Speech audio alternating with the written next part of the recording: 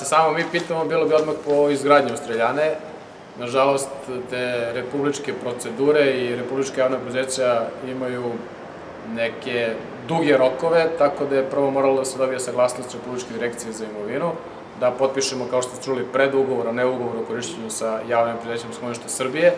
Kad smo sve to uradili, tek smo sada stekli uslov da predamo sportskom centru e, na upravljanje samo do oktobra,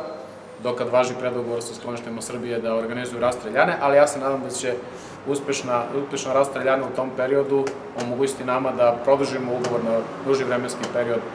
sa uh, javnim prezećem skloništa Srbije i da streljana zaživi i radi u punom kapacitetu u narodnom periodu.